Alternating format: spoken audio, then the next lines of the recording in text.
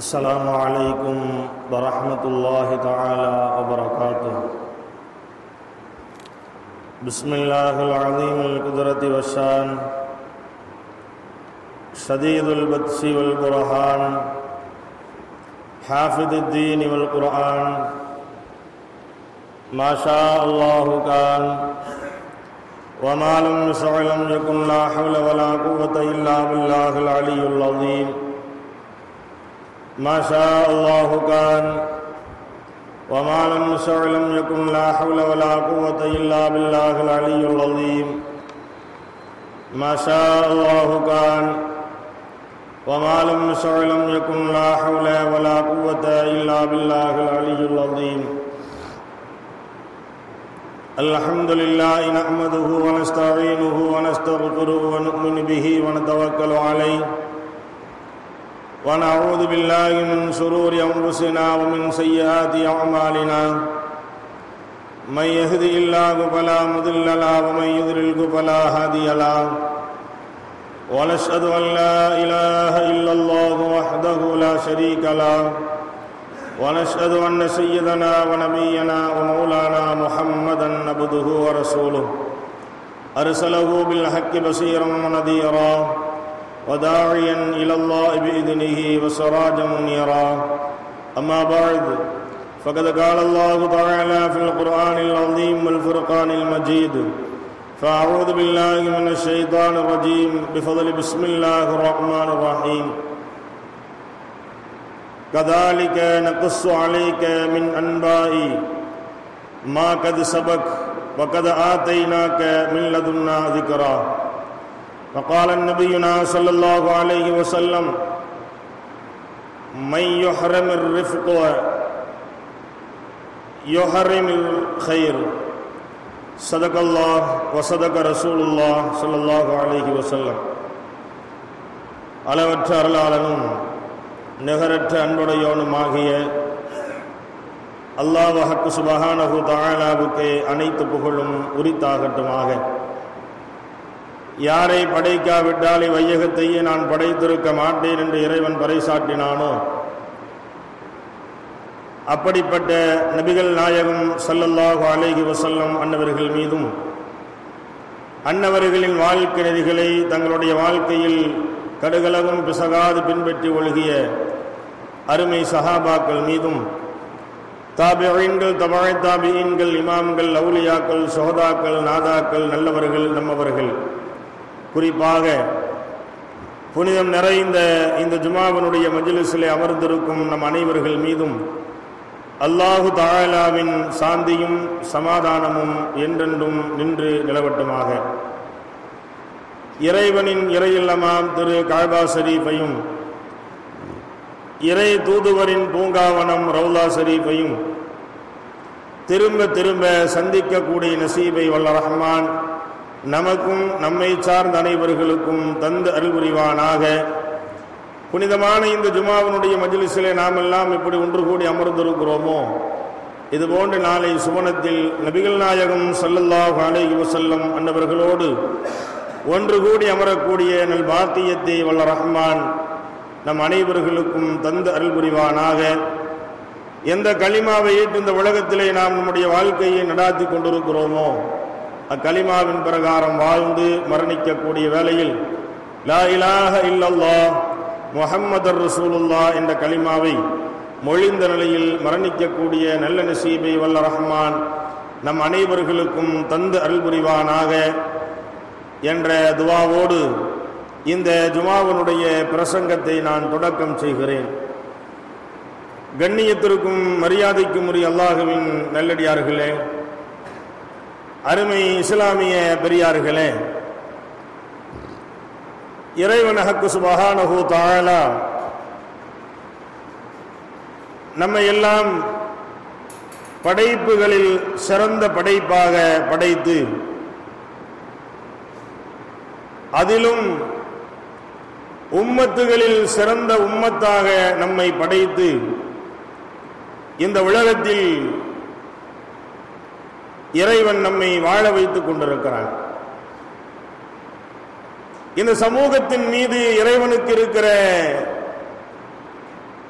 எண்ணப்பாடு அதிகம் அக்கறை இந்த சமூகம் எந்த ஒரு கட்டத்திலும் வழிதவறிவிடக் கூடாது என்பதற்காக வேண்டி காலத்திற்கு ஏற்றவாறு இறைவன் நபிமாறுகளை அனுப்பினான். காலத்திற்கு ஏற்றவாறு இறைவன் வேதங்களை அனுப்பினான். ஆக எப்படியும் இந்த சமூகம் வழி தவறிவிடக் கூடாது என்ற விஷயத்திலே இறைவன் அதிகம் அதிகம் இந்த சமூகத்தின் மீது அக்கறை எடுத்துக்கொண்டான் அப்படிப்பட்ட ஒரு அற்புத சமூகமாக நம்முடைய சமூகம் இஸ்லாமிய சமூகம் திகழ்ந்து கொண்டிருக்கிறது. ஆக வாழ்ந்து கொண்டிருக்கிற இந்த மனித சமூகம் ஒவ்வொருவர்களும் ஒவ்வொரு லட்சியத்தினுடைய அடிப்படையிலே தன் வாழ்வை அமைத்திருப்பார்கள். நாம் இப்படி வாழ வேண்டும் அப்படி வாழ வேண்டும் இப்படி வாழ்ந்தால் நாம் நம்முடைய எல்லை அடைந்து விடலாம் லட்சியத்தை அடைந்து விடலாம் என்று ஒவ்வொரு மனிதனும் அவனவனுடைய எண்ணத்திற்கு ஏற்றால் போல் அவனுடைய சிந்தனைகள் அவனை திருப்பி விட்டிருக்கும். ஆனால் மனித சமூகம் உயர்வடைவது எதை வைத்து? மனிதன் உயர்வடைய வேண்டும் என்று சொன்னால் என்ன செய்ய வேண்டும் என்று சொல்லுகிற அற்புத தத்துவத்தை இந்த மார்க்கம் நமக்கு வழிவகுத்து தந்திருக்கிறது. மனிதன் தன்னை உயர்வானவனாக ஆக்கிக் கொள்ள வேண்டுமா? படைக்கப்பட்டதனுடைய நோக்கம் இந்த உலகத்தில் அவனுக்கு நிவர்த்தி செய்யப்பட வேண்டுமா? அவன் தன் லட்சியத்தை அடைந்து கொள்ள வேண்டுமா? அந்த லட்சியம் உலகத்தில் மட்டுமல்ல மறுமையில் தொடர வேண்டுமா? மறுமையனுடைய வெற்றி அவனுக்கு அவசியமா? இதோ அல்லாஹுவால் சொல்ல- சில விஷயங்கள். அல்லாஹுடைய தூதரால் காட்டித்தரப்பட்டிருக்கிற சில விஷயங்கள். அதை ஒரு மனிதன் எடுத்து நடக்கிற பொழுது அவன் தன் லட்சியத்தை அடைந்து கொள்ள முடியும் என்பதை நம் யாருக்கும் நமக்கு சொல்லித் தருகிறார். மனிதன் தன்னை உயர்வாக்கிக் கொள்ள வேண்டும் என்று சொன்னால் உயர்ந்த நிலைக்கு வர வேண்டும் என்று சொன்னால் சில விஷயத்தை அவன் கடைபிடிக்க வேண்டிய கடப்பாடு அந்த மனிதனுக்கு இருக்கிறது. மாணவி செல்லல்லா கொலையு செல்லம் அவர்கள் நமக்கு சொல்லுகிறார்கள். எந்த அளவுக்கு? மை யுஹரமிர் ரிஃப்க யுஹரமில் அவர்கள் சொல்லுகிறார்கள் மென்மையை எந்த ஒரு மனிதன் இழக்கிறானோ அவன் நன்மையை இழந்து விடுவான் என்று சொன்னார்கள் பெருமானா செல்லல்லா அலிசம் அவர்கள். மென்மையான போக்கு சாந்தமான போக்கு நல்ல முறையிலே பழகக்கூடிய பழக்க வழக்கங்கள். அது இருந்தால் அவன் நிச்சயமாக நன்மை அடைந்து கொள்ளலாம்.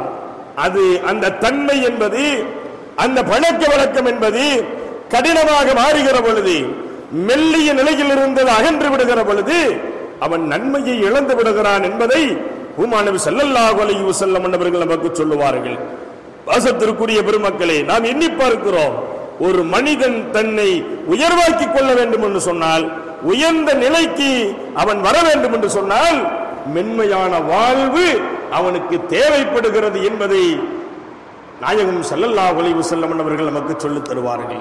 பார்க்கிறோம் பெருமானார் ஒரு நீண்ட பட்டியல் இடுகிறார்கள் மனிதன் தன்னை உயர்வடைய செய்ய வேண்டும் என்று சொன்னால் நாயகம் செல்லல்லா ஒளிவு செல்லம் அவர்கள் சொல்லுகிறார்கள் இறைவன் மீது நீங்கள் அன்பு கொள்ளுங்கள். அல்லாவின் மீது அன்பு மனிதனுக்கு தேவைப்படுகிறது. அல்லாவின் மீது அளவு கடந்த பயம் அதாவது அன்பு வைக்க வேண்டும். அந்த அன்பு அல்லாஹுவை மாற்றி அடிக்கிறது நாம் உயர்வடைவதற்கு அது ஒரு காரணமாக இருக்கிறது என்பதை நாயகம் ஸல்லல்லாஹு அலைஹி வஸல்லம் அவர்கள் நமக்கு சொல்லித் தருகிறார்கள். அல்லாஹ் மீது பிரியம் ஏற்பட வேண்டும். அந்த பிரியம் வாயளவில் இருக்கக்கூடாது செயல் வடிவத்தில் இருக்க வேண்டும். என்ன செயல் வடிவம்? எந்த காரியமாக இருந்தாலும் சரி எப்படிப்பட்ட நிலையாக இருந்தாலும் சரி அல்லாவிற்கு செய்ய வேண்டிய கடமைகளை நாம் நிறைவேற்றுகிறோமே அதுதான் இறைவன் மீது வைக்கிற அன்பு. அதுதான் இறைவன் மீது வைக்கிற பாசம். அந்த பிணைப்பை யாரும் நகர்த்தி விட முடியாது. செய்தான் இடையிலே ஊடுருவினாலும் கூட அவனால் இதிலே வெற்றி கொள்ள முடியாது என்பதை கண்ணியத்திற்குரிய பெருமக்களை நாம் விளங்க கடமைப்பட்டிருக்கிறோம். எனவே நாம் உயர்வடைய வேண்டும் என்று சொன்னால் இறைவன் மீது நீங்கள் அன்பு வையுங்கள். ஹூமா நபி அவர்கள் சொல்லுகிறார்கள். இரண்டாவதாக சொன்னார்கள். இறைவனுடைய அன்பை பெற்றவர்கள் மீது நீங்கள் அன்பு வையுங்கள். இறைவனுடைய அன்பு யாரிடத்தில் இருக்கும் என்பது நமக்கு தெரியும். அவர்கள் மீதும் நீங்கள் அன்பு வையுங்கள். இறைவனுக்கு யாரின் மீது அன்பு இருக்கிறது? நபிமார்கள் மீது இருக்கிறது சஹாபாக்கள் மீது இருக்கிறது தாபியன்கள் மீது இருக்கிறது அவுளியாக்கள் மீது இருக்கிறது இறை நேசர்கள் மீது இருக்கிறது ஆலிம்கள் மீது இருக்கிறது நல்லடியார்கள் மீது இருக்கிறது. இதுவெல்லாம் இறைவன் அன்பு வைக்கக்கூடிய பட்டியல். இறைவன் யார் மீது அன்பு வைக்கிறானோ அவர்கள் மீது நாம் அன்பு வைக்க வேண்டும். நபிமார்களை அல்லாஹ் விரும்பி இருக்கிறான் அன்பு வைக்கிறான். நான் நபிமார்களை எல்லாம் ஏற்றுக்கொள்ள மாட்டேன் என்று சொன்னால் அது அன்பாக மாறாது. இறைவன் சகாபாக்களை விரும்புகிறான். அந்த சகாபாக்களை ஏற்றுக்கொள்கிறான் அங்கீகரிக்கிறான் பிரியும் வைக்கிறான். அந்த சகாபாக்கள் நம்மை போன்றவர்கள் நான் அங்கீகரிக்க முடியாது. அவர்கள் மீது நான் அன்பு வைக்க முடியாது என்று சொன்னால் அது இவனை உயர்வடைய செய்யாது. இவனை தாழ்வு நிலைக்கு கொண்டு போய்விடும் என்பதுதான் யதார்த்த உண்மையாக இருந்து கொண்டிருக்கிறது. பாசத்திற்குரிய பெருமக்களே எனவேதான் இரண்டாவதாக இறைவன் யாரின் மீது அன்பு வைக்கிறானோ அவர்கள் மீது நாம் அன்பு வைத்தால் நிச்சயமாக நாம் உயர்ந்த நிலைக்கு நாம் வருகிறோம். அடுத்து பெருமானா சல்லல்லா அலிஸ் அவர்கள் சொன்னார்கள் உங்கள் இதயத்தை நீங்கள் கடுமையாக்கி விடாதீர்கள். இதயம் என்பது கல் நஞ்சம் பிடித்ததை போன்று மாறிவிடக்கூடாது. அப்படி மாறிவிட்டால் நாம் உயர்ந்த நிலைக்கு வர முடியாது. நம்முடைய இதயம் என்பது சாந்தமான முறையிலே மாற்றப்பட வேண்டும். எதையும் தாங்கிக் கொள்ளக்கூடிய நிலையில் இருக்க வேண்டும். எப்படிப்பட்ட சூழலையும் அங்கீகரித்துக் கொள்ளக்கூடிய நிலையில் இருக்க வேண்டும். அப்படி இருந்தால் அந்த கடினம் என்பது அகன்று விடுகிறது. யாரிடத்திலும் நல்ல முறையில் பழகுவது யாரிடத்தில் பேசுவதாக இருந்தாலும் முகமகிழ்ச்சியோடு பேசுவது இது போன்ற ஒரு நிலை இருந்தால் இந்த செயல் அவனை உயர்வடைய செய்யும் என்பதை நபிகள் நாயகம் சல்லல்லா குலைவு செல்லமன் அவர்கள் சொன்னார்கள். அடுத்து சொல்லுகிறார்கள் நாயகம் செல்லல்லா குலைவு செல்லமன் அவர்கள் அதே போன்று இறைமறையில் இருந்து இறை நினைவிலிருந்தும் சோர்ந்து விடக்கூடாது. அல்லாஹ்வுடைய வேதம் நம்முடைய கரத்திலே கிடைக்கப்பட்டிருக்கிறது. அதை பின்பற்றுவது அதை ஓதுவது அது போன்று அதாவது இறைவனுடைய சிந்தனை இதிலிருந்து நாம் நகர்ந்து விடக்கூடாது. அப்படி நகர்ந்தால் நாம் உயர்வடைய முடியாது. நகர்வில்லாமல் அந்த குரானோடு நம்முடைய தொடர்புகள் அதே போன்று இறைவன் இறைவன் மீது இருக்கிற அந்த நினைவு சதாவும் அல்லாவை நினைத்துக் கொண்டே இருப்பது. இந்த நிலை இருந்தால் எப்படிப்பட்ட மனிதனும் உயர்ந்த நிலைக்கு வந்து விடலாம் என்பதை நபிகள் நாயகம் சல்லல்லா அலைஹி செல்லும் அவர்கள் சொல்லுகிறார்கள். அடுத்து ஐந்தாவதாக சொன்னார்கள் இறைவனை அதாவது உண்மையில் அஞ்சு வாழ வேண்டும். இறைவனை உண்மையிலேயே அஞ்சு நடக்க வேண்டும். வெறுமனை வாயிலே பேசிக் கொள்வதல்ல. நான் அல்லாவை பயந்து நடந்து கொண்டிருக்கிறேன் என்று வெறுமனே நமக்குள் நமக்கு மத்தியில் நாம் பேசிக் கொள்ளுகிறோமே அதுவல்ல மனதளவிலே உள்ள முழுக்க இறைவன் நிரம்பி இருக்க வேண்டும். அதாவது உள்ளபூர்வமாக இறைவனை பயப்பட்டு நடக்க வேண்டும். அப்படி இருந்தால் நீங்கள் உயர்வடையலாம் என்பதை நபிகள் நாயகம் ஸல்லல்லாஹு அலைஹி வஸல்லம் அவர்கள் நமக்கு சொல்லித் தருகிறார்கள். அடுத்து இறுதியாக பெருமானார் சொன்னார்கள் மக்களை மனதால் நீங்கள் அன்பு வையுங்கள். உங்களோடு வாழ்ந்து கொண்டிருக்கிற பரஸ்பர மக்கள் இருக்கிறார்களே அந்த மக்களிடத்திலே வெறுப்புணர்வோடு நீங்கள் நடக்காதீர்கள். அது மார்க்கத்திற்கு உகந்ததாக இருந்தால் மார்க்கத்தை ஒட்டி இருந்தால் அவர்களை வெட்டி விட்டு வாழ்வதற்கு அனுமதி இருக்கிறது. அல்லாத விஷயங்களுக்காக வேண்டி நீங்கள் அவர்களை ஒதுக்கி விடாதீர்கள். மக்களோடு மக்களாக நீங்கள் அன்பு பாராட்டுங்கள். அந்த அன்பு பாராட்டு அன்பு பரிமாற்றம் உங்களை உயர்வுடைய செய்யும் என்பதை நபிகள் நாயகம் ஸல்லல்லாஹு அலைஹி வஸல்லம் அவர்கள் சொன்னார்கள். நாம் பார்க்கிறோம் அல்லவா? மக்களிடத்தில் நல்ல முறையிலே பழகக்கூடியவர்கள் மக்களால் பேசிக் கொள்ளப்படுவார்கள். அவர் நல்ல மனிதர் நல்ல பேசக்கூடிய மனிதர் என்று சொல்லுவார்கள். ஒரு வித்தியாசமாக மக்களிடத்தில் எப்பொழுதுமே ஒரு கோபத்தோடு பார்க்கக்கூடியவரை பார்த்தால் மக்கள் வெறுப்போடு பேசுவார்கள். அவன் பக்கத்திலேயே போக முடியாதுன்னு சொல்லுவாங்க. அவன்கிட்ட எதுவுமே பேச முடியாது. அவன் மனுஷனான்னு கேட்பாங்க ஆக இதுவெல்லாம் அவனுக்கு சாபக்கேடு. அவனுடைய கண்ணியத்தை குறைத்து விடுகிறது. அவனுடைய உயர்வை குறைத்து விடுகிறது. மக்களால் பிரார்த்தனை செய்யப்பட வேண்டும். நம்முடைய பெயர் சொல்லப்படுகிற பொழுது இவரா நல்ல பேசுவார். இவரா நல்ல பழகிக் கொள்வார். அவரிடத்தில் சென்றால் நம்முடைய காரியங்கள் நிறைவேறும் என்று மக்கள் பேசுகிறார்களே. அந்த பேச்சு இவனை வாழ வைக்கிறது இவனுடைய கண்ணியத்தை உயர்த்துகிறது உயர்ந்த நிலைக்கு இவன் வருகிறான் என்பதை நபிகள் நாயகம் சல்லல்லா குலைவு செல்லமன் அவர்கள் நமக்கு சொல்லித் தருகிறார்கள். கண்ணியத்திற்குரிய பெருமக்களே பெருமானா சல்லல்லா குலைவு செல்லமன் அவர்கள் ஒரு நாள் தோழர்கள்லாம் கூடியிருக்கிற ஒரு கூட்டம். ஸல்லல்லாஹு அலி செல்லம் சொன்னான் அன்பு தோழர்களே மக்களை பார்த்து சஹாபா தோழர்களை பார்த்து சொல்லுகிறார்கள் உயர்வான கை தாழ்வான கையை விட மேலானது என்று சொன்னார்கள். உயர்வான கை தாழ்வான கையை விட மேலானது என்று சொன்னார்கள். சகாபாக்கள் கேட்டார்கள் யார சொல்லலா நீங்கள் சொல்லுவது எங்களுக்கு ஒன்றும் விளங்கவில்லையே. உயர்வான கை தாழ்வான கை என்றெல்லாம் சொல்லுகிறீர்களே அது எங்களுக்கு உணர முடியவில்லை யார சொல்லலாம் என்று சொன்ன உடனே பெருமானா சல்லல்லா அலிஸ் அவர்கள் சொன்னார்கள் அதாவது கேட்கும் கையை விட கொடுக்கும் கை இருக்கிறது அது மேலானது. கொடுக்கக்கூடிய கை அந்த மனிதன் உயர்ந்த நிலைக்கு வருவான் என்று சொன்னார்கள் நபிகள் நாயகம் சல்லா அலிசம் நாம் எண்ணி பார்க்கிறோம் ஒரு மனிதனுடைய உயர்வு எதிலெல்லாம் இருக்கிறது எதிலே சேர்க்கப்பட்டிருக்கிறது. இன்றைக்கு அந்த நிலை மனிதனிடத்தில் இருக்கிறதா என்பதை நாம் எண்ணி பார்க்க வேண்டும். இருந்தாலும் கூட இல்லை என்று சொல்லக்கூடிய ஒரு சூழல்.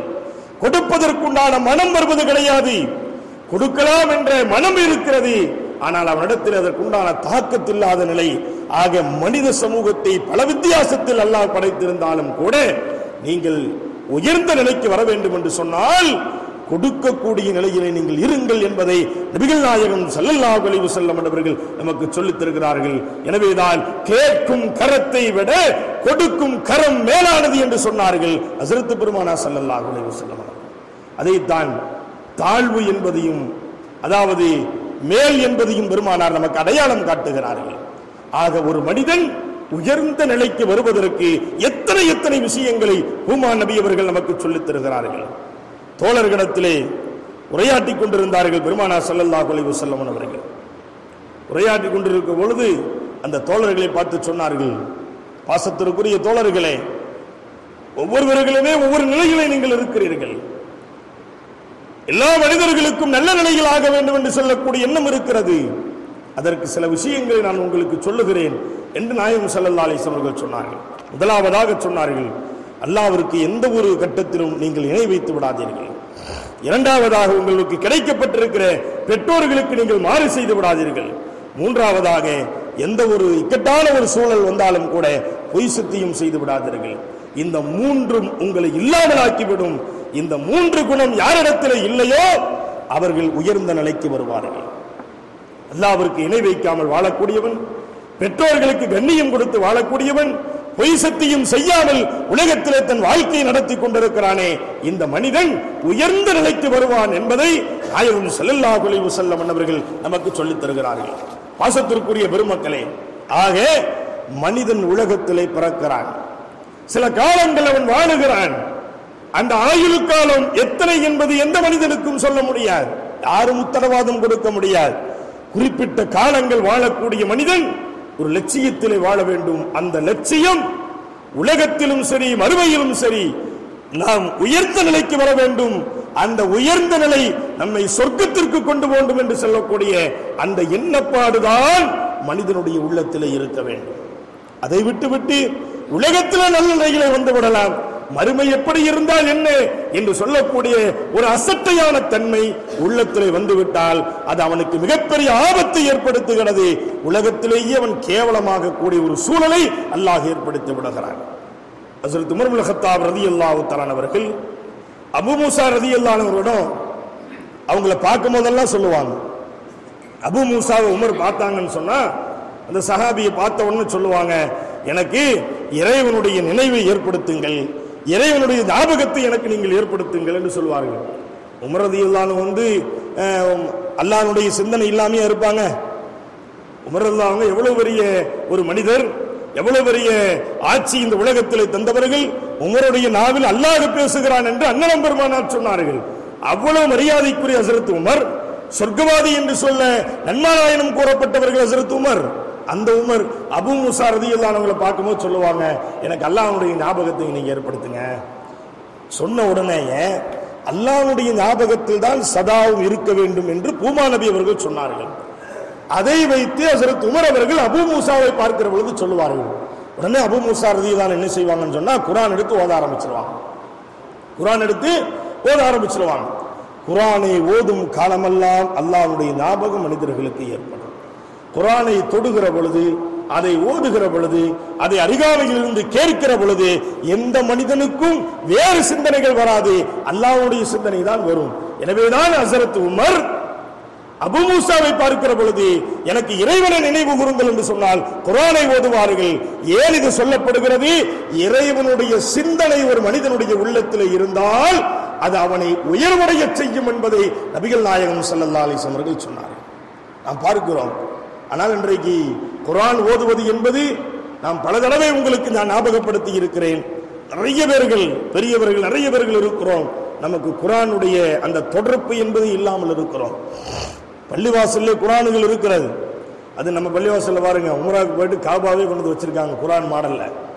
ஏ, அதை தொட்டு பார்க்கறதுக்கு கூட நம்ம மகளால் ஆள் இல்லை. அதுதான் ரொம்ப சங்கடமான விஷயம். அந்த பாவம் மகல்லாவும் சம்பாதி விட சம்பாதித்து விடக்கூடாது என்பதற்காக வேண்டி நம்ம என்ன செய்வோம்னா சொல்லக்கூடாது. சொல்ல வேண்டிய கட்டம் என்பதாக நான் சொல்லுகிறேன். இதில் இருக்கிற ஒவ்வொரு குரானையும் ஏதாவது ஒரு நேரங்களில் எடுத்து ஒரு ஆயத்தாவது ஓதி ஓதி அங்கு வைக்கப்பட்டு கொண்டிருக்கிறது. சில நேரங்களில் என்ன செய்வேன்?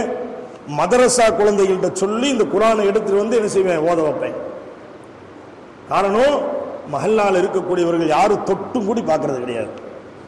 சல்லல்லா அலிஸ்லம் சொன்னாங்க குரானை பார்ப்பது காபாவை பார்ப்பது பெற்றோர்களை பார்ப்பதெல்லாம் இபாதத் என்று. ஓதத் தெரியாவிட்டாலும் கூட அதை கையில எடுத்து சுமந்து கொண்டிருக்கிறோமே இதை எனக்கு ஓதத் தெரியவில்லையே என்று சொல்லக்கூடிய வேதனையோடு அதை சுமந்தாலும் கூட பார்த்த நன்மை அது சாதாரண நன்மை இல்லை இபாதத்தாக கருதப்படுகிறது என்பதை நாயகம் ஸல்லல்லாஹு அலைஹி அவர்கள் சொன்னார்கள். அப்படி என்றால் பாசத்திற்குரிய பெருமக்களை நாம் எண்ணி பார்க்க வேண்டும். அல்லாவுடைய சிந்தனை வர வேண்டும் என்று சொன்னால் குரான் ஓதுகிறார்கள் அபு மூசா அப்பொழுது இறை சிந்தனை எனக்கு வருகிறது என்று சொல்லுவார்கள் அசர்த்து பிரபுல் ஹத்தாப் ரலியல்லாஹு இந்த சிந்தனை ஒரு மனிதனுடைய உள்ளத்தில் இருந்தால் அவன் உயர்ந்த நிலைக்கு வருவான் என்பதை நாயகம் ஸல்லல்லாஹு அலைஹி செல்லம் அவர்கள் நமக்கு சொல்லித் தருகிறார்கள். அதே போன்று நாயம் செல்லல்லா அலைஹி அவர்கள் வேறொரு செய்தியும் கூட நமக்கு சொல்லுவார்கள். ஒரு மனிதன் உயர்ந்த நிலைக்கு வர வேண்டும் என்று சொன்னால் அவனுக்கு உலகத்தில் என்னென்ன காரியங்கள்லாம் நல்லா இருக்கணும் அப்படின்னு சொன்னா நல்ல துணைவி நல்ல மனைவி அவனுக்கு அமையணும். நல்ல மனைவி அமைந்து விட்டால் அவன் நல்ல நிலைக்கு என்ன செஞ்சிடலாம்? வந்துடலாம். அது மார்க்கத்தை நான் சொல்லுகிறது உலக ஆதாயங்களை தூண்டக்கூடிய மனைவிகள் அல்ல. பெருமானார் எந்த மனைவியை தேர்ந்தெடுங்கள்? மார்க்கத்தை சார்ந்திருக்கிற பெண்ணை தேர்ந்தெடுங்கள் என்று சொன்னார்கள் அல்லவா? அது போன்ற ஒரு நிலையில் இருக்கிற மனைவி ஒரு கணவனுக்கு அமைந்து விட்டால் அவன் லட்சியத்தை அடைந்து விடலாம் அவன் உயர்ந்த நிலைக்கு வரலாம் என்பதை நாயம் செல்லல்லா அலைஹி வஸல்லம் அவர்கள் சொன்னார்கள். ஆக கணவன் கணவனாக இருக்க வேண்டும் மனைவி மனைவியாக இருக்க வேண்டும். சில இடங்களில் கணவன் மனைவியாக இருப்பான் மனைவி கணவனாக இருப்பாங்க. அந்த நிலைக்கு என்ன செஞ்சிடக்கூடாது? வந்துடக்கூடாது. அது ஒரு அதட்டு அதட்டு சிதைந்தால் காண போயிடுவார்.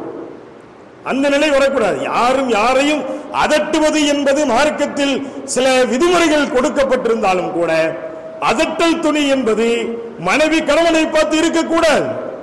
சாந்தமான முறையில் கருத்தை சொல்லலாமே தவிர அதாவது கண்டிப்போடு சொல்லுவதற்கு மனைவிக்கு அனுமதி கிடையாது. அல்லாஹனுடைய சாபம் இறங்கும் என்பதை நாயம் செல்லா உலக செல்லம் அவர்கள் சொன்னார்கள். ஒரு காலம் இருந்தது. பெரியவர்களிடத்தில் கேட்டு பார்த்தால் சொல்லுவார்கள் வீட்டுக்குள் கணவன் வருகிற பொழுது கணவன் எந்த நிலையில இருந்தாலும் சரி அவன் நல்ல நிலையில இருந்தாலும் சரி அல்லாத நிலையில இருந்தாலும் சரி கணவன் வீட்டிற்கு வருகிறான் என்று சொன்னால் அவன் வருகிற சூழலை தெரிந்து கொண்டு மனைவி என்ன செய்வாள்? தண்ணீரை எடுத்து கொண்டு வந்து வீட்டு வாயில் படியிலே வந்து அவனை நல்ல முறையில் இன்முகத்தோடு அழைத்து உள்ளே வந்தவுடனே தண்ணீரை கொடுப்பாள். இப்படி ஒரு காலம் இருந்துச்சு. இப்ப கணவன் வீட்டுக்குள்ள போறதும் தெரியுது இல்லை வெளியில் வர்றதுமே தெரியுது இல்லை மனைவிமார்களுக்கு. அப்படித்தானே இருக்குது? ஏ? கணவன் உள்ள வந்தாலும் தெரியாது போனாலும் தெரியாது. வந்துட்டு போனீங்களா? ஆ? நான் பார்க்கவே இல்லை. நீ தான் வேற பார்த்துட்டு இருக்கிறிய. அங்க ஓடிட்டு இருக்குது நாடகம். அதை பார்த்துட்டு இருக்கும்போது யானை உள்ள வந்தாலும் தெரியாது. இதுதான் நிலைப்பாடுகள் இன்றைக்கு. ஒன்றுமே அறியாத நிலையிலே குடும்பத்தினுடைய நிலையில் போய் கொண்டிருக்கிறது. பரஸ்பரம் அதாவது மக்களோடு இருக்கிற நிலையும் கூட ஒட்டுமொத்தமாக குடும்பத்தோடு இருந்து குடும்பம் சகிதம் உண்ணக்கூடிய நிலையும் கூட குடும்பத்தில் கிடையாது. எல்லாமே மாறி போச்சு எல்லாமே இன்றைக்கு தலைகீழாக மாற்றப்பட்டு இருக்கிறது கணவன் மனைவிக்கு செய்ய வேண்டிய கடமைகளை செய்வது கிடையாது. மனைவி கணவனுக்கு செய்ய வேண்டிய கடமைகளை செய்வது கிடையாது. எல்லாம் இன்றைக்கு ஒன்றுமில்லாமல் போய் கொண்டிருக்கிறார் எனவேதான் பெருமானா சல்லா அலிஸ் அவர்கள் சொன்னார்கள் உயர்ந்த நிலைக்கு நீ வர வேண்டுமா? நல்ல மனைவியை நீ தேர்ந்தெடுத்துக்கொள். நல்ல மனைவி அமைந்தால் அவன் உயர்ந்த நிலைக்கு வரலாம். அடுத்து இரண்டாவது பெருமானா சல்லல்லா அலிஸ்வன் சொன்னாங்க பணிவு தேவைப்படுகிறார். அதாவது ஆணாக இருந்தாலும் சரி பெண்ணாக இருந்தாலும் சரி பணிவு அவர்களுக்கு தேவைப்படுகிறது. பணிவு இருந்தால் அவன் உயர்ந்த நிலைக்கு வருவான் என்பதை நாயகம் ஸல்லல்லாஹு அலைஹி அவர்கள் சொன்னார் நம்ம ஒவ்வொருத்தருமே ஒவ்வொரு லட்சியத்தை தேடி ஓடிக்கொண்டிருக்கிறோம். ஆனால் அசலை விட்டு விட்டோம் எல்லாமே ரசூலுல்லாஹி ஸல்லல்லாஹு அலைஹி அவர்கள் சொல்லி தந்திருக்கிறார்கள். அது இல்லாததனுடைய விளைவுதான். பணிவு என்பது வேண்டும். பேச்சில் பணிவு நடத்தையில் பணிவு நடைமுறையில் பணிவு. எல்லா பணிவோடு இருக்கிற பொழுது அது ஆணிடத்திலும் வேண்டும் பெண்ணிடத்திலும் வேண்டும். அது இருந்து விட்டால் அவன் உயர்ந்த நிலைக்கு வந்து விடுவான். சில தலைவர்களை சொல்லுகிற பொழுது சந்தோஷமாக மக்கள் பேசுவார்கள். பார்க்கிறோமா இல்லை அரசியல் தலைவர்களை பத்தி பேசினா சிலர்கள் பேசுகிற பொழுது என்னதான் இருந்தால் நல்ல மனிதனப்பா சொல்லுவார்கள் சிலர்கள் சொல்லுகிற பொழுது அவன் மூடன் அப்படிங்குவாங்க. திட்ட ஆரம்பிச்சிருவாங்க. இப்படியெல்லாம் இருக்கும். ஆக இது போன்ற ஒரு நிலைகள் வரக்கூடாது. பணிவு அனைவர்களுக்கும் தேவை. பணிவு இருந்தால் நீங்கள் உயர்ந்த நிலைக்கு வரலாம் என்பதை நாயம் செல்லல்லா குலைவு வஸல்லம் அவர்கள் சொன்னார்கள். மூன்றாவதாக சொல்லுவார்கள் பாவ மன்னிப்பு கேட்டல். எல்லா இடத்துல பாவ மன்னிப்பு அதிகமாக கேட்கணும். அதாவது ஒரு ப- தவறை செய்து விட்டோம் அந்த தவறு அறிந்தோ அறியாத விதத்தில் நடந்து விட்டது. அல்லாவிடத்திலே பாவ மன்னிப்பு தேடுகிறோம். பாவம் இறைவா நான் தெரியாமல் செய்து விட்டேன். அல்லது தெரிந்தே இந்த பாவம் நடைபெற்று விட்டது. இறைவா நீ என்னை மன்னித்து விடு. நீ ஒரு காலம் இந்த பாவத்தை நான் செய்ய மாட்டேன் என்று அல்லாவிடத்திலே உத்தரவாதம் வாங்க வேண்டும். அப்படி இருந்தால் நீங்கள் உயர்ந்த நிலைக்கு வரலாம் என்பதை நாயம் சல்லல்லா அலைஹி அவர்கள் சொல்லுகிறார்கள். இன்னைக்கு அப்படியா இருக்குது? பாவத்தை செஞ்சுட்டு பெருமையா சொல்லிட்டு இருக்கிறான் பாவத்தை செஞ்சுட்டு பெருமையா சொல்றான். போனேன்னா டவுன் ஹாலுக்கே ஒரு கார் நின்றுருந்தா தூக்கிட்டு வந்துட்டேன். வண்டி நின்று இருந்தால் தூக்கிட்டு வந்துட்டேன். திருடிட்டு வந்து அந்த வீட்டுக்குள்ளே இறங்கிட்டேன். அவனை குத்திட்டேன். அவனை கொலை செஞ்சுட்டேன். பெருமையாக பேசிட்டு இருக்கான். மிகப்பெரிய பாவத்தை செய்துவிட்டு பெருமையோடு பேசக்கூடிய காலத்தில் நாம் இருக்கிறோம். அது முழு முழுக்க முழுக்க மார்க்கத்திற்கு முரணானது.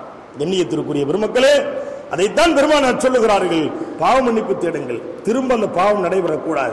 அப்படி இருந்தால் நீங்கள் உயர்ந்த நிலைக்கு வருவீர்கள் என்பதை நாயும் சல்லல்லா அலைஹி அவர்கள் சொல்லுகிறார்கள்.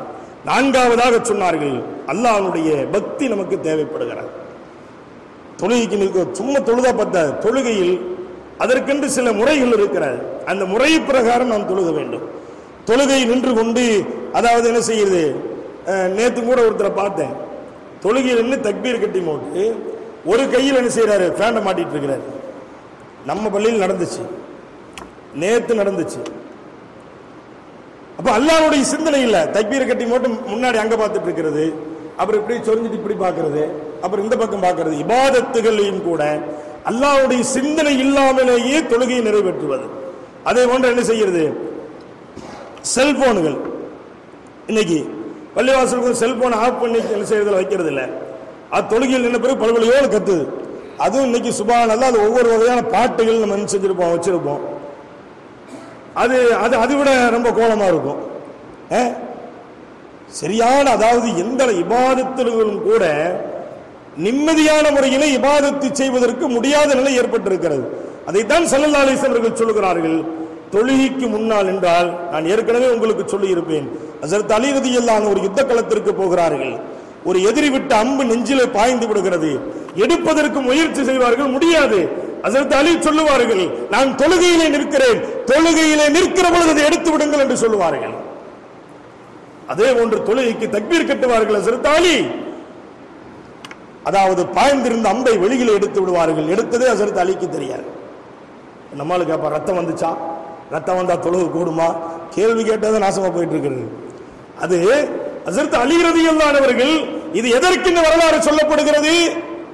தொழுகையிலே நின்று விட்டால் எது நடந்தாலும் தெரியாது.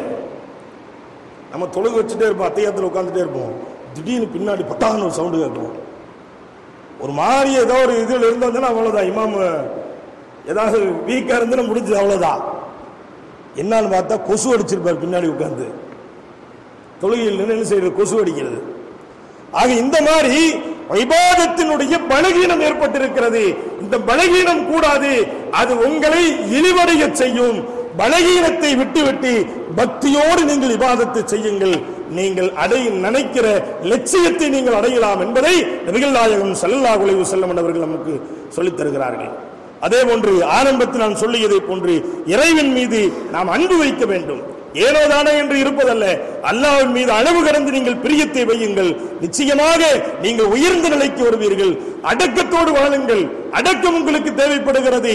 அந்த அடக்கம் உங்களிடத்தில் இருந்தால் நீங்கள் உயர்ந்த நிலைக்கு வருவீர்கள் என்று நபிகள்நாயகம் நாயகம் ஸல்லல்லாஹு அலைஹி வஸல்லம் அவர்கள் சொன்னார்கள்.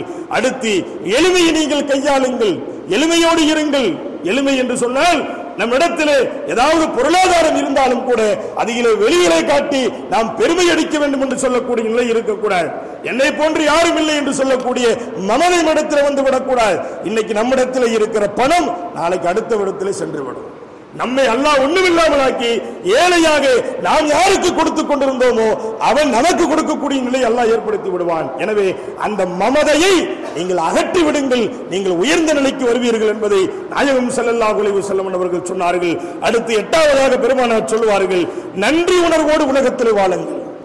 யார் எது செய்தாலும் அவர்களுக்கு நன்றி பாராட்டக்கூடியவர்களாக நாம் இருக்க வேண்டும். அல்லாஹ் நமக்கு தந்திருக்கிறான். எத்தனையோ நேரத்துகள் எல்லாம் நமக்கு தந்திருக்கிறான். கரங்களை வைத்திருக்கிறோம் பார்வைகளை வைத்திருக்கிறோம் தலை வைத்திருக்கிறோம் உடல் உறுப்புகள் ஒவ்வொன்றும் இருக்கிறது. இதுவெல்லாம் இறைவனால் நமக்கு தரப்பட்டிருக்கிற நேமத் அத்தனையும் வைத்துக் கொண்டு அல்லாவை மறந்து நாம் வாழ்ந்து கொண்டிருக்கிறோம். ஒருவர் நமக்கு உதவி செய்துவிட்டால் திரும்ப அவருக்கு கொடுக்க வேண்டும் என்று சொல்லக்கூடிய மனோநிலையில் வாழக்கூடிய மனிதன் இறைவன் கொடுத்திருக்கிற இத்தனை நேமத்துகளையும் ஒரு நாளும் கூட நாம் அதிகம் அதை எண்ணி பார்ப்பது கிடையாது. பெருமானார் சொன்னார்கள் அல்லவா படுக்க செல்லுகிற பொழுது உங்களுடைய படுக்கையில் நீங்கள் சில நிமிடங்கள் அமருங்கள். அமர்ந்து நீங்கள் யோசனை செய்து பாருங்கள். அல்லாஹ் நமக்கு என்ன நாமத்தை தந்திருக்கிறான்? இன்றைக்கு என்ன நாமத்தை நமக்கு தந்தான்? அதற்கு அல்லாவுக்கு நீங்கள் நன்றி செலுத்துங்கள். அல்லாவுக்கு முரணாக ஏதாவது நீங்கள் செய்திருந்தால் நடந்திருந்தால் பாவ மன்னிப்பு தேடுங்கள். இஸ்திகுபார் செய்யுங்கள். செய்துவிட்டு நீங்கள் உறங்கச் செல்லுங்கள் என்று நாயகம் ஸல்லல்லாஹு அலைஹி செல்லும் அவர்கள் சொன்னார்கள். எனவேதான் யாரும் யாருக்கும் நன்றி கெட்டவர்களாக நாம் மாறிவிடக்கூடாது பாசத்திற்குரிய பெருமக்களே உதாரணத்திற்கு ஒரு விஷயத்தை எடுத்துக் கொள்ளுங்கள். இறைவன் கொடுத்த ஒரு நியமத். தலையினுடைய முடிக்கு வளர்ச்சி இருக்கிறது. தாடியில் வளரக்கூடிய முடிக்கு வளர்ச்சி இருக்கிறது. உறுப்புகளில் சில இடங்கள் இருக்கிற முடிகளுக்கு அல்லாஹ் வளர்ச்சியை கொடுத்திருக்கிறான். சில உறுப்புகளுடைய முடிகளுடைய வளர்ச்சியை ஒரு அளவுக்கு ஒரு எல்லையோடு வைத்திருக்கிறான். காரணம் அது எல்லை மீறிவிட்டால் மனிதனால் உலகத்தில் வாழ முடியாது. இருக்கிறதா இல்லையா? கண்ணனுடைய இமை முடி. அது ரொம்ப நீளமா வளர தலைமுடி மாதிரி அது வளர்ந்ததுன்னா இப்படி இருக்கும். அந்த இமை முடி இல்லாமல் ஒரு மனிதன் வாழ முடியாது. ரொம்ப ரொம்ப கஷ்டமான ஒரு சூழல். எவ்வளவு அழகா அல்ல அமைத்து வைத்து கண் என்று சொல்லக்கூடிய ஒரு நிலையை ஒரு பெட்டிக்குள் வைத்து அதற்கென்று ஒரு மூடியை போட்டு அந்த தூசியும் கூட அதில் பட்டுவிடக் கூடாது என்பதற்காக வேண்டி இறைவனால் எவ்வளவு ஒரு அற்புதமாக அந்த இமை என்பது நமக்கு தரப்பட்டிருக்கிறது. யோசனை செய்து பாருங்கள் கண்ணியத்திற்குரியவர்களே எப்படியாவது தப்பித்தவரை ஏதாவது ஒரு தூசி கண்ணுக்குள் பட்டுவிட்டால் எந்த மனிதனும் அதை தாங்கிக் கொள்ள முடிவது கிடையாது. இருக்கிறதா இல்லையா? அப்ப அல்லாஹ் எவ்வளவு ஒரு நாமத்தை நமக்கு தந்திருக்கிறான். கை இருக்கிறது இறைவனால் இயற்கையாக தரப்பட்டது. இது ஏதாவது அசம்பாவித்திலே அல்லாஹ் பாதுகாக்க வேண்டும். அசம்பாவிதத்திலே முறிந்து விட்டால் அதற்கு பிறகு இதை சரி செய்தாலும் கூட ஆரம்பத்தில் இருந்த அந்த இயற்கை தன்மை நமக்கு கிடைக்குமா என்பதை நாம் யோசனை செய்து பார்க்க வேண்டும். கால் இருக்கிறது. இயற்கையாக அல்லாஹ் தந்திருக்கிறான். பயன்படுத்துகிறோம். அது இயற்கையிலிருந்து மாறி ஏதாவது அசம்பாவிதத்தில் அது முறிந்து விட்டால் அதற்கு பிறகு ஒட்ட வைக்கப்பட்டாலோ வேறு ஏதாவது ஒரு நிலையிலே அதை சரி செய்தாலோ ஆரம்பத்தில் இருந்த அந்த மனோநிலை அந்த நடை அது போன்ற ஒரு செயல்பாடுகள் நம்முடைய உறுப்பில் இருக்குமா என்பதை நாம் எண்ணி பார்க்க வேண்டும். இது யார் கொடுத்த நாமத்தி நாம் கேட்- கேட்டு பெற்றதா இது? பெற்றவர்களிடத்தில் என்னை இப்படித்தான் உருவாக்க வேண்டும் என்று நாம் சொல்லி இருக்கிறோமா?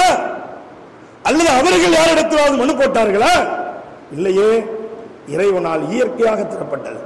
எல்லா நாமத்தையும் வாங்கி வைத்து அல்லாவுக்கு நன்றி இல்லாதவர்களாக நாம் நடந்து கொண்டிருக்கிறோம். அந்த நன்றி உணர்வு என்பது மனிதனுடைய உள்ளத்தில் இருக்க வேண்டும் என்பதை நபிகள் நாயகம் ஸல்லல்லாஹு அலைஹி அவர்கள் சொல்கிறார்கள். அப்படி நன்றி உணர்வு இருந்தால் நீ உயர்ந்த நிலைக்கு வரலாம். இது அல்லாவிற்கு செய்கிற நன்றி மட்டுமல்ல மனிதன் மனிதனுக்கும் நன்றி பட நன்றி பாராட்ட வேண்டிய ஒரு சூழலுக்கு இருக்கிறான்.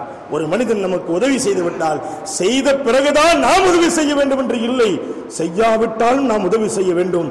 ஆக பரஸ்பரம் மனிதர்களுக்கு மத்தியிலே நன்றி பாராட்டக்கூடிய நிலை இருக்கிற பொழுது நிச்சயமாக அந்த மனிதன் உயர்ந்த நிலைக்கு வருவான் என்பதை நபிகள் நாயகம் சல்லல்லா குலைவு வஸல்லம் என்பவர்கள் நமக்கு சொல்லித் தருகிறார்கள். அடுத்து சொன்னார்கள் பெருமானா சல்லல்லா குலைவு வஸல்லம் என்பவர்கள் ஒன்பதாவதாக ஒரு நல்ல காரியத்தினை செய்கிற பொழுது நல்ல ஆர்வம் ஆர்வத்தோடு நீங்கள் செயல்படுங்கள். ஆர்வம் இருக்க வேண்டும். அது ஆசையோடு நீங்கள் செய்ய வேண்டும். அப்பொழுதுதான் நீங்கள் உயர்ந்த நிலைக்கு வருவீர்கள் என்று பெருமானா சல்லல்லா அலிசம் அவர்கள் சொன்னார். உதாரணமாக உதாரணத்திற்கு சொல்ல வேண்டும் என்று சொன்னால் ஒரு பள்ளிவாசல் இருக்கிறது. பள்ளிவாசல் இருக்கிறது. ஆர்வத்தோடு செயல்பட்டால் இதை நல்ல முறையில் நாம் உருவாக்கி எடுக்க முடியும். ஆர்வம் இல்லாமல் இருந்தால் அந்த வேலைப்பாடுகளில் குறைவு ஏற்பட்டு விடுகிறது. எதிர்பார்த்த நிலையை நாம் அடைய முடியாது. வீடு இருக்கிறது. ஆர்வத்தோடு வீடுகளிலே நாம் செலவு அதாவது சம்பாதி சம்பாதிக்க வேண்டும் செலவழிக்க வேண்டும் குடும்பத்தை நல்ல முறையில் பார்க்க வேண்டும் என்று சொல்லக்கூடிய ஆர்வம் தேவைப்படுகிறது. ஆர்வம் இல்லாமல் இப்படியே தின்னு தின்னையா உட்காந்துட்டே நடக்கணும். வேலைக்கே போகக்கூடாது இங்கேயே வண்டி ஓட்டிட்டு இருக்கணும் அப்படின்னு நம்ம நினைச்சோம் நம்மளும் பட்டினி நம்மளை நம்பி இருக்கிற மனைவியும் பட்டினி அதை விட மோசம் குழந்தைகளும் பட்டினி. சில நிறைய வீடுகளில் குழந்தைகள் உண்ணக்கூடிய நேரங்களில் அக்கம் பக்கத்தில் அவர்கள் வருகிற பொழுது உண்மையிலேயே வேதனையாக இருக்கிறார். இவன் ஜவானமாக இருக்கிறான். வேலைக்கும் போறதில்ல குழப்புக்கும் போறதில்லை. இப்படியே ஊர் சுத்திட்டு இருக்கிறது. எண்ணியத்திற்குரிய பெருமக்களே குடும்பம் பட்டினியாக இருந்து கொண்டிருக்கிறார். எவ்வளவு பெரிய ஒரு வேதனைக்குரிய விஷயம். சிலர்கள் இருக்கிறார்கள் பெற்றோர்களை வேலைக்கு அனுப்பிச்சு விட்டுட்டு அதை வாங்கி சாப்பிட்டு இவன் இருக்கான். இது அதை விட கொடுமை. இருக்கா இல்லையா? சில இடங்கள்ல மனைவி மாதிரி வேலைக்கு போவாங்க. இவர் கரெக்டாக ஒன்னாந்து வாசப்படியில் இருப்பார் வீட்டுக்காரம்மா சம்பளம் வாங்கிட்டு வந்து வாசப்படியிலே வாங்கிட்டு போயிடுறாரு. இதுவெல்லாம் வந்து ஆண்களுக்கு அழகல்ல அது ஆண்மைத்தனமும் அல்ல. நாம் சிந்திக்க வேண்டும். நமக்கென்று சில முறைகள் இருக்கிறது சில கடமைகள் இருக்கிறது. அதைத்தான் செல்லல்லா அவர்கள் சொல்லுகிறார்கள் உங்களுக்கு உங்களுடைய உள்ளத்தில் ஆர்வம் ஏற்பட வேண்டும்.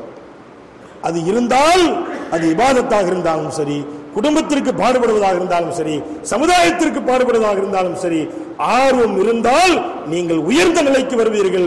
ஆர்வம் இல்லை என்று சொன்னால் காரியமும் நடக்காது உங்களையும் அடையாளம் தெரியாது.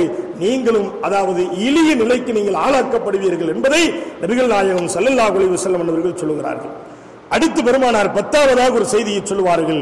நாயகம் சல்லல்லா அலைஹி அவர்கள் இறைவனை நீங்கள் என்ன செய்யுங்க? அதாவது புகழ்ந்து நீங்கள் வாழுங்கள். அல்லாவை நீங்கள் புகழ வேண்டும். அல்லாவுடைய சிறப்புகளை எடுத்துச் சொல்ல வேண்டும். அல்லாவுடைய தன்மை என்பதை மக்களுக்கு பரப்ப வேண்டும். அப்படி இருந்தால் நீங்கள் நிச்சயமாக உயர்ந்த நிலைக்கு நீங்கள் வருவீர்கள் என்பதை நபிகள் நாயகம் சல்லல்லா அலைஹி வஸல்லம் அவர்கள் நமக்கு சொல்லித் தருகிறார்கள். எனவேதான் பாசத்திற்குரிய பெருமக்களே உலகத்தில் வாழ்ந்து கொண்டிருக்கிற நாம் ஒவ்வொருவர்களும் ஒவ்வொரு லட்சியத்தை அடைய வேண்டும் என்று சொல்லக்கூடிய மனோநிலை நமக்கு இருக்கிறது. ஆனால் அந்த லட்சியத்தை அடைவதற்குண்டான வழிகளை நாம் ஆராயாமல் இருக்கிறோம். உயர்ந்த நிலைக்கு வர வேண்டும் என்று சொல்லக்கூடிய எண்ணம் நம்முடைய உடல்ல இருக்கிறது உள்ளத்தில் இருக்கிறது.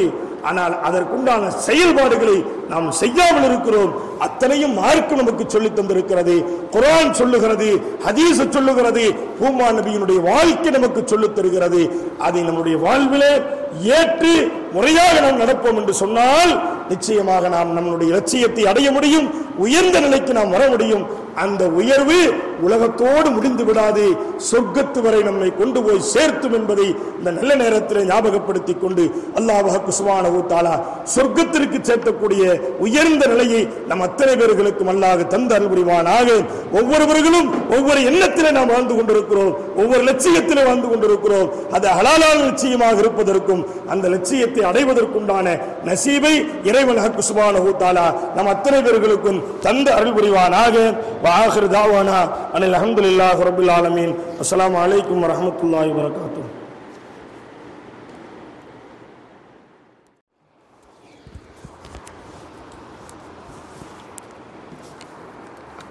السلام علیکم ورحمۃ اللہ تعالی وبرکاتہ۔